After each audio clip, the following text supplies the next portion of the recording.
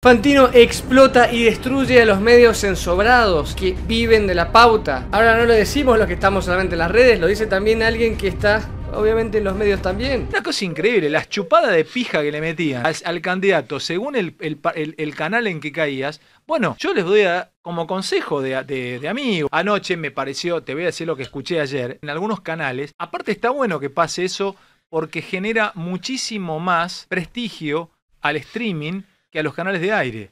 Les voy a decir esto un consejo a mis colegas si lo quieren tomar o no. Muchachos, si quieren mantener con vida un tiempo más los medios tradicionales, aflojen, aflojen definitivamente a la bandería política ya cara descubierta en los medios tradicionales. Ayer escuché en un, en un medio eh, eh, explicando durante 10 minutos por qué a Burri le lloraba el ojo, pues se le había metido una pestaña adentro. Y cómo Crescenti le dio unas gotas para el ojo. Y, vos veías, ya, yo anoche estaba con, mi, con mis suegros este, y con mi esposa en casa viéndolo. Hacía un zapping y cuando pasaba el zapping en, off, le decía, mira ahora cuando lo ponga, ¿qué van a decir? Pum, poniendo el canal a un candidato. Eh, después, mira ahora, o al otro candidato. Una cosa increíble, las chupadas de pija que le metían al, candidato según el, el canal en que caías. Yo les doy como consejo de, de, amigo, porque muchos de ellos los conozco. Muchachada hermosa, guarda, porque están matando ustedes mismos al propio medio, ¿eh? Aflojen un poco eso, libérense porque es imposible. Por eso el streaming termina siendo triunfante en esta elección. Esta elección se jugó en el streaming, no en Neura, se jugó en las redes. Olvídense de esto. Se jugó en las redes, se jugó en TikTok, se jugó acá, en YouTube, se jugó en Twitch, se jugó en Facebook Live, se jugó en Instagram, se jugó en Twitter. Qué bueno que lo esté diciendo también Fantino, porque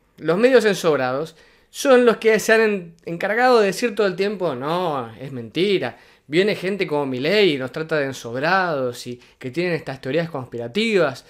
Todas las redes, en TikTok, en Twitter, en especial en Twitter, en YouTube, en todos lados, estamos todos denunciando esto constantemente, pero además porque es obvio, no hay que estar adentro y no haber visto el sobre, se, se cae sola la mentira.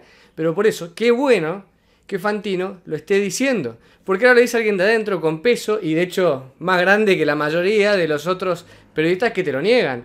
Fantino está, la verdad, que dentro del top de los top. Entonces, que lo venga a decir él, me parece que es justamente validar lo que estamos diciendo tantos. Que hay medios ensobrados que les bajan línea con plata. Ya no es ninguna teoría conspirativa, no te pueden decir, ah, no, porque los de la libertad danza, porque los de mi ley, porque los libertarios. Es cierto, lo está diciendo él también. No dijo de ningún caso excepcional, ninguno tampoco particular. Está diciendo las cosas como son. Pero también entendamos que Fantino, no voy a decir que es liberal, pero dentro de todas las opciones, generalmente, si lo vemos cuando habla de Milei y todos los que lo rodean, en especial, que lo vamos a ver después de Tronco, lo van más a Milei que al resto. Entonces, un poco va dirigido hacia ellos. De hecho, la criticó, no a Bullrich directamente, pero sí a los medios que Bullrich decía algo y ya vieron lo que hacía. Tremendo. Y sí, como dice, esta elección se jugó en las redes, en TikTok, en YouTube, en todas las que él mencionó. O sea, pensemos de hecho que, capaz, no sé, yo subo 10 videos al día, capaz, y uno solo debe tener eh, la misma cantidad de visitas que tiene en un día un medio tradicional. O sea, es, una locura. Entonces, imaginemos toda la otra cantidad de, de creadores de contenido que hay. E, es una, una brutalidad la diferencia. Y los medios tradicionales están en el horno. En el horno. Incluso cuando se hizo los debates, los streaming que había tuvieron muchas más vistas que lo que terminó teniendo la transmisión original. Y obviamente eran todos, por lo menos lo que les iba bien, eh, liberales. Así que Ojo con eso. Por ejemplo, me quedé en crónica. Realmente terminé viendo a Chiche. Imposible, chicos, imposible. En serio, o sea, eh, A nosotros me hago cargo también, yo soy parte de los medios tradicionales. Miren, yo eh, el sábado pasado hice una mesa ahí, después vino Tevez a hablar un rato. Ya le dije el sábado pasado, no me traigan más políticos. Prefiero que no, listo, vamos a hablar con, tres actores. Honestamente, eh, entonces, tronco, respetemos eso acá. yo te voy a decir algo, porque yo ya tengo los huevos llenos. Y ya el otro día me di cuenta que paro todo de pecho y me chupan un huevo. Vos sabés que hay periodistas muy, pero muy no, muy grosos no, de mucha trayectoria, de mucha trayectoria que se pone nervioso por lo que podemos llegar a decir acá. Bueno, pero ahí te voy a... ¿Sabés que hay, hay, hay, hay, ponele, hay, hay unos periodistas que se creen intelectuales también? Dicen, no, pero pará, mirá, si decimos algo, mirá que los locos te tiran ahí, ¿eh? Ah, y como tienen todos el culo con caca, les da miedo. Bueno, él tiene razón. Están estos pseudo periodistas que se creen que están ahí en la cúspide, que nadie los va a poder bajar y que en realidad ya ni siquiera los conocen. Los pibes de hoy no saben ni quiénes son. O sea que va a pasar dentro de muy poco una generación que ya no ve tele y que esta gente no la va ni reconocer, van a perder cada vez más tracción y van a perder. Están perdiendo, los medios tradicionales están perdiendo. De hecho, muchos están pasando a los medios digitales. El que le hizo muy bien justamente Fantino, que está ahora incursionando en el streaming y le está yendo muy bien y tiene un programa que es excelente, el de Neura. Que de hecho, bueno, me habrán visto, estuve hace poco ahí, así que no, lo digo por, ese lado, tampoco lo digo justamente porque estando adentro, habiendo participado, me pareció que lo que tenían era realmente muy, muy bueno. O sea que realmente, como decían, o sea, tienen miedo y también pensemos que el miedo es tremendo porque ellos ven que un grupo de pibes desde las redes poniendo memes, por ejemplo, memes de Goku, diciendo las fuerzas del cielo, han servido más que todos los bolsos, todas las valijas que han puesto de guita los políticos. Eso es lo que les da miedo. Les están bajando todas las campañas.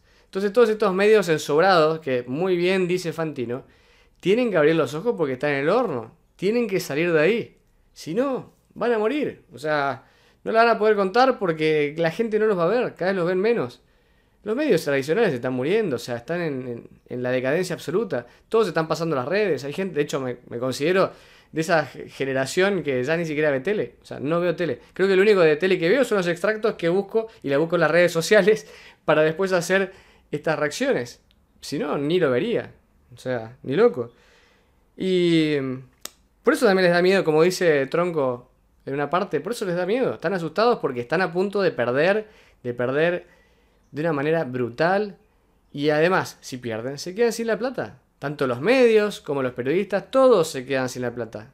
Se quedan sin un peso. Entonces van a tener que salir a buscar el trabajo de otra manera. Y no están entendiendo realmente lo que está pasando. Esta es una campaña que los que han perdido son los que no entendieron justamente las redes. Miremos el mejor caso, el de la reta. Ahora Bullrich que también está perdiendo y ves las redes de hechas y son una vergüenza. No sabe ni siquiera explicar los TikToks. O mostré uno que decía en dos TikToks eh, no explicaba las propuestas cuando ella había dicho que en el próximo TikTok lo iba a hacer y, le duró tres y después empezó a subir otras cosas, o sea, ni siquiera cumple. No entienden, no entienden cómo funciona. Hay que estar muy finos con el tema de que no nos operen, muy finos con el tema de que no nos operen, porque nos van a operar mucho esta semana los periodistas, esta semana y la semana que viene, mucho. O sea, hay que estar muy finos con la no operación a nosotros, porque ¿qué pasa? Las mismas fuentes, o muchas de ellas, bueno, yo tengo dos o tres fuentes que no me operan, y yo, y yo capto cuando alguien que busca una info me está operando. Pero bueno, me gustaría que me dejen ustedes en los comentarios qué opinan de esto que acaba de decir Fantino. Todo lo que quieran agregar lo dejan acá abajo. Si les gustó el video, los invito a darle like, me gusta. Si les gusta el canal, no se olviden de suscribirse y activar la campanita. Acá abajo les dejo las redes sociales y nos vemos en un próximo video. Yo soy Crisis, tomate como te. Hasta la próxima. Chao.